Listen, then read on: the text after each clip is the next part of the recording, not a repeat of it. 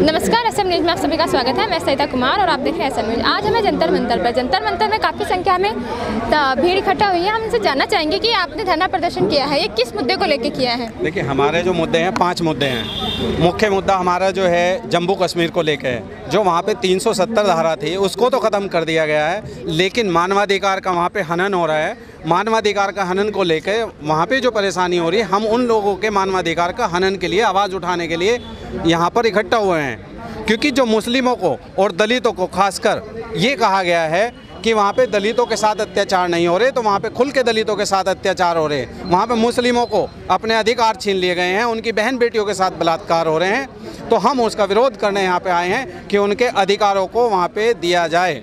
उनको वहाँ पे जो मोबाइल की कनेक्टिविटी बंद कर दी गई है, लोगों को बाहर निकलने के अधिकार ख़त्म कर दिए गए हैं। उन सब अधिकारों के आवाज़ उठाने के लिए हम लोग इकट्ठा हुए हैं। दूसरा हमारा मुद्दा है कि जो मॉब लीचिंग हो रही है, मॉब लीचिंग अभी आपने देखा होगा मध्य प्रदेश में दो वाल्मीकि बच्चे, एक लड़की, बारह साल की लड़की, दस साल के लड़के को कुछ मनीवा मनुवादी लोगों ने लाठी से पीट पीट कर उनकी हत्या कर दी। तो उस पर नरेंद्र मोदी कुछ नहीं बोल रहे। देश के प्रधानमंत्री होने के बावजूद दलितों पर जो अत्याचार हो रहे हैं, उस पर वो कुछ भी बोलने के लिए तैयार नहीं है। उनके मुख्य मुद्दे मंदिर बनाओ। अभी यहाँ पे दिल्ली में अगर रविदास मंदिर है, रविदास मंदिर को क्यों तोड़ दिया गया? रविदास मंदिर क्यों नहीं बनाया जा रहा? सिर्फ़ दलितों को। मुख्यतः दलितों को टारगेट करके, मुस्लिमों को टारगेट करके उनके साथ उनकी हत्याएँ की जा रही हैं, उनके साथ अत्याचार किया जा रहा है, उनकी महिलाओं के साथ अत्याचार किए जा रहे हैं। रोज़ आप मीडिया में देख सकते हो कि महिलाएँ, वैसे हम कह रहे हैं कि बेटी बचाओ, बेटी पढ़ाओ, उसके साथ साथ, लेकिन जितने बीजेपी के नेता हैं, उनके ही मुख्य नेता बलात्कारों में संलिप्त हैं। सेंगर हो, चाहे चिमनानंद हो, उनको बचाया जा रहा है। वो लड़की बेचारी जिसने बलात्कार की आवाज़ उठाई, उसको जेल में डाल दिया गया। और चिन्मयानंद जी, अस्पताल में लेटे हुए, एसी के मज़े ले रहे। तो ये हमारे लोकतंत्र के मज़ाक उड़ाए जा रही हैं। तो एस सी की अगर बात करते हैं हम, दलितों की, अभी इन्होंने शिक्षा को किस तरीके से तोड़ मरोड़ के पेश किया जा रहा है, सबका निजीकरण किया जा रहा है। अभी एससी के लिए क्या गया कि जो एससी के स्टूडेंट होंगे, अगर वो 60 परसेंट मार्क्स लाएँगे तो वो तभी आगे उच्च शिक्षा में उनको एडमिशन दिया जाएगा। लेकिन क्या एस के कुछ स्कूल हैं? कोई भी स्कूल नहीं है। सब जर्नलों के स्कूल हैं। स्वर्णों के, मनुवादी लोगों के स्कूल हैं। तो वो एस सी वालों को क्यों 60 परसेंट मार्क्स देंगे? क्यों उनको आगे पढ़ने देंगे? इन सब चीज़ों को मॉब लिंचिंग महिलाओं पर अत्याचार, जम्मू कश्मीर में जो धारा 370 हटाई गई लेकिन उसके साथ मानवाधिकार के जो हनन किया जा रहा इन सब चीज़ों को लेकर हम लोगों ने यहाँ पे धरना प्रदर्शन किया है। जिसमें हम लोग सारे लोग मेरठ से आया हूँ मैं मेरठ से आदेश नागौरी भारतीय मूल्यवादी संगठन के प्रदेश अध्यक्ष हूँ और हमारी बहुत सारे टीम के लोग आए हैं। सरकार अगर आपकी मांगे नहीं मानती तो आप आगे की कार्रवाई देखिए हम सड़कों पर उतर कर आंदोलन करेंगे।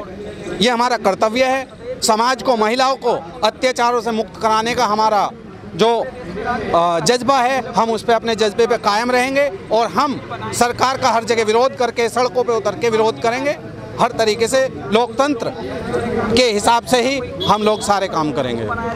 सरकार तो कहती है भारत अब डिजिटल इंडिया बन गया है तो लेकिन कहीं ना कहीं जहाँ भी देखो आप खबर आती है कि कहीं दलितों को मारा गया या मुस्लिम लोगों की मॉब लिंचिंग की गई इस पर क्या आपको क्या लगता है यही डिजिटल इंडिया है? देखिए अगर डिजिटल इंडिया की बात करें तो डिजिटल इंडिया में मोदी जी कहते हैं कि हमने सारे में साफ़ सफ़ाई करा के सब जगह शौचालय बनवा दिए। अगर शौचालय बनवा दिए डिजिटल इंडिया हो गया तो मध्य प्रदेश में दो बच्चे जो सड़क वहाँ पे खेत में सोचा सोच कर रहे थे तो उनको क्यों मार दिया गया लाठियों से पीट के? क्यों मारा गया? क्या यही डिजिटल इंडिया है? जानवर से भी बदतर स्थिति है। देश आज़ाद कहते हैं, लेकिन दलितों की तो बहुत ज़्यादा बुरी स्थिति है। जितनी बलात्कार होते हैं, वो एस सी की महिलाओं के साथ हो रहे हैं। आप देखिए, सारा इतिहास उठा लीजिए, आप रिकॉर्ड देख लीजिए, हर जगह। अभी वहाँ पे एक लड़की को बिल्कुल नंगा करके बलात्कार किया गया था राजस्थान में। वो पूरे उसमें वीडियो वायरल हुई थी। क्या किया उन्होंने? रोज ऐसे ही हत्याएँ हो रही डिजिटल की बात करते हैं। बिहार में अभी मार दिया गया। बिहार में हत्याएँ हो रही हैं। अगर आप करते हो शिक्षा की बात तो शिक्षा में आप देख लिए निजीकरण करते जा रहे। अगर एल आई सी सत्तावन हज़ार करोड़ में माइनस में चली गई अर्थव्यवस्था देश की डूब गई। आरबीआई से सारा पैसा ले लिया गया, सोना ले लिया गया। अगर ये सारे के सारे, जितने लोग विदेश पैसा लेके भाग रहे हैं, वो कौन है? वो मनुवादी हैं? सरकार के इशारों पे भाग रहे हैं? तो कैसे कह सकते हैं कि आप डिजिटल इंडिया अपने, अगर कोई भी, अगर बताओ बीजेपी ने क्या किया भारत में अभी सत्ता में रह के? अगर जो कुछ बना हुआ अगर ऑल इंडिया बना हुआ अगर स्टेशन बने हुए रेलवे रेलवे है रेलवे सब घाटे में जा रहे हैं, सत्तर सालों में, तिहत्तर सालों में, बताओ, सारा का सारा डिपार्टमेंट सारे डिपार्टमेंट घाटे में चले गए। सभी सरकारी नौकरियों को हटा के, सरकारी डिपार्टमेंटों को हटा के निजीकरण किया जा रहा। क्या यही विकास है? मैं तो इतना कहना चाहूँगा कि मोदी जैसा, जो अपने परिवार को नहीं संभाल सकता, वो देश को क्या संभालेगा? मोदी जी कहते थे जब उनकी सरकार बनेगी तो विकास आएगा देश में। आप उनकी सरकार को काफ़ी टाइम हो गया। क्या आपको क्या लगता है कितना विकास हुआ है? जी मैम मैं मोदी जी ने जो वादा दिया था विकास लाएँगे वो विकास आया है। लेकिन वो लोकतंत्र के रूप में नहीं आया। वो मनुवाद के रूप में आया है। महिलाओं पे आए दिन अत्याचार हो रहे हैं। शिक्षा शिक्षा में हमारा देश पिछड़ता जा रहा है। आर्थिक स्थिति में पिछड़ता जा रहा है। और जो डिजिटल इंडिया, न्यू इंडिया की बात कर रहे हैं, ये न्यू इंडिया नहीं है, ओल्ड इंडिया पे जा रहा है। आज से सत्तर साल, सौ साल, हज़ार साल पहले जो महिलाओं की स्थिति थी, जिन्हें पैर की जूती समझा जाता था, आज भी वही हो रहा है। आए दिन आप देख सकते हैं, लोगों में प्रशासन का कोई डर नहीं है। आए दिन लोग, महिलाओं के साथ अत्याचार होते हैं, उसकी वीडियो वायरल होती है, फिर भी उन लड़कों को गिरफ़्तार नहीं किया जाता। आए दिन बिहार में, मध्य प्रदेश, राजस्थान, चाहे जहाँ भी देख लीजिए आप। इनके नेता ही लिप्त हैं इसमें। नेता लिप्त हैं राजनीतिक पार्टियों से। उन्हें बचाया जा रहा है। सेंसर के रूप में था बेटी का परिवार मर गया, बच्ची मर गई, लेकिन नेता आज भी मज़े ले रहा है। अभी चिन्मानंद देश में वो बच्ची जेल में और नेता मज़े ले रहे हैं। तो यही न्यू इंडिया है। ये न्यू इंडिया नहीं है। जो जो जिसका सपना बाबा साहब ने चाहा सब समान। शिक्षा में जॉब में, या ह्यूमैनिटी में सब समान है, कोई तो बड़ा छोटा नहीं है। उसे ये ख़त्म करते जा रहे हैं। जब से उनकी सरकार बनी है, तब से अत्याचार कम हो गया है। लेकिन अगर आप देखते हैं तो कहीं जब भी कोई बात होती है, महिलाओं पे अत्याचार किया, किसी पे भी अत्याचार की तो ज़्यादातर बीजेपी के ही नेता ही उस पर शामिल होते हैं। तो आप इस पर क्या कहेंगे? इसमें क्या है? क्योंकि जो सरकारें कहती हैं, आप देखते हैं कि आप छोटे चैनल तो जो अत्याचार होते हैं, उन लोगों को दिखाते हैं। लेकिन जितने भी बड़े चैनल हैं, वो गोदी मीडिया बन के रह गए हैं। वो मोदी मीडिया बन के रह गए, जो उनकी कोई छोटे छोटा काम हो उसे तो खूब बड़ा बड़ा करके दिखाएँगे। लेकिन जो अत्याचार होते हैं, उनको नहीं दिखाने का काम करते हैं। आप देख रहे हैं कि अत्याचार इतने चरम पर बढ़ गए हैं कि लोगों के अंदर खोप नहीं रहा है। चार चार लोग मिलके एक बच्चा जा रहा है, बच्ची जा रही है, उसको पकड़ के ज़बरदस्ती उसके साथ बलात्कार किया जा रहा है। ये जंगल राज से कम नहीं है। क्यों कर रहे हैं वो लोग? इसलिए कर रहे हैं कि वो देखते हैं। कि जैसे कि बीजेपी के नेता, बड़े बड़े नेता रोज़ रेप केस में फंस रहे हैं, वो अत्याचार करते हैं, उनका कुछ नहीं बिगड़ रहा।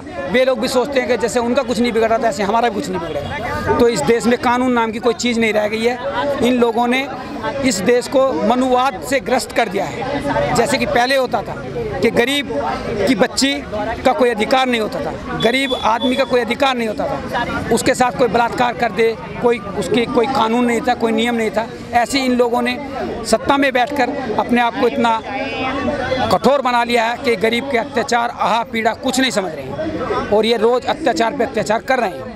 जैसे कि आपने देखा शिवपुरी में दो बच्चे, एक तरफ़ हमारे प्रधानमंत्री कहते हैं कि हमने घर घर शौचालय बना दिए। जब घर घर शौचालय थे तो वे बच्चे सड़क पर खुले में शौच करने क्यों गए?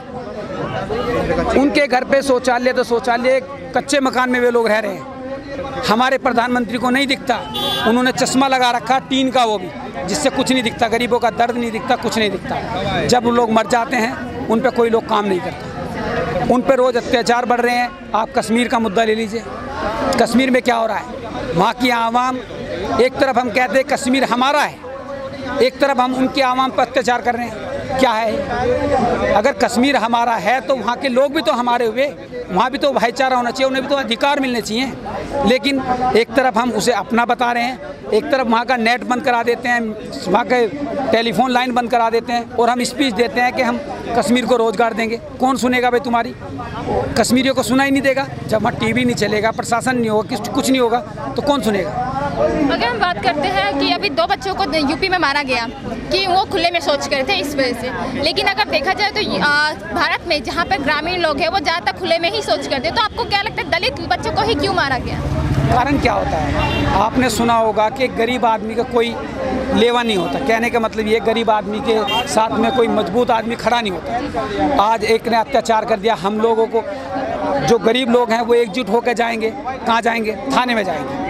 पुलिस प्रशासन किनका है, उन लोगों का है। महाविधायक का एक का फ़ोन आ गया तो वो लोग उस पर कार्रवाई नहीं करते। एक तरफ़ कहते हैं कि दलितों को इतने अधिकार मिल रहे हैं, इनकी रिपोर्ट ऐसे दर्ज नहीं होनी चाहिए एस सी में तुरंत दर्ज नहीं होनी चाहिए, लेकिन जगह जगह जब उन पर अत्याचार होते हैं, वो थाने में जाता है, उनको न्याय नहीं मिलता तो क्या करें? सड़कों पर हम लोग उतरते हैं तो हम पे झूठे मुकदमे लगा दिए जाते हैं। हम अपना अधिकार भी नहीं मांग रहे हैं, मांग पा रहे हैं, ये लोकतंत्र की हत्या हो रही है, क्योंकि ये जो सरकार है, ये ईवीएम से बनाई हुई सरकार है ये सरकार लोगों के द्वारा चुनी हुई सरकार नहीं है।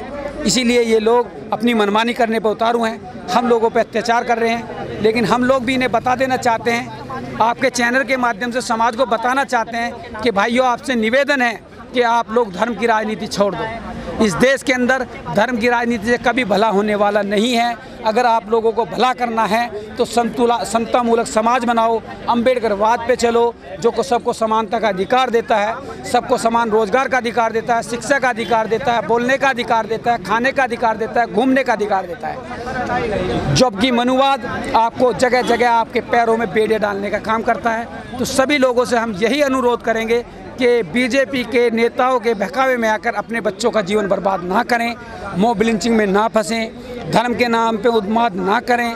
सभी लोग प्रेम से अपने अधिकार के लिए संघर्ष करें। यहाँ पे पोस्टर लोगों ने ले रखे हैं और लिखा है भीड़ करे जब कतले कतले आम लोकतंत्र का फिर क्या हो काम? तो इस पर ये किस लिए लिखा गया ये इसलिए लिखा गया है एक बात बताइए लोकतंत्र किसे कहते हैं? जहाँ पे लोकतंत्र का राज हो जहाँ पे लोग डरे कि लोकतंत्र हमारे कानून नाम की भी कोई चीज़ है लेकिन जगह जगह अत्याचार हो रहे हैं बहनों के साथ बलात्कार हो रहे हैं उन पर कोई कार्रवाई नहीं हो रही है वे संघर्ष के लिए सड़कों पर उतरना पड़ रहा, लोगों को उतरना पड़ रहा, जब जाके उनकी रिपोर्ट दर्ज होती है और रिपोर्ट दर्ज होने के साथ साथ दूसरे उन पर झूठे इल्ज़ाम लगा के उन्हें खुद ही जेल में डाल दिया जाता है। तो बताइए, हमारी बहन बेटियाँ कैसे सुरक्षित रहेंगी? कैसे अपने अधिकार के लिए लड़ेंगी?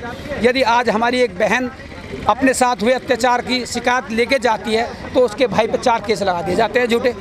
चार केस लगाए उसे जेल में डाल दिया जाता है। जब उसे जेल में डाल दिया जाएगा तो हमारी माता बहनें क्या करेंगी?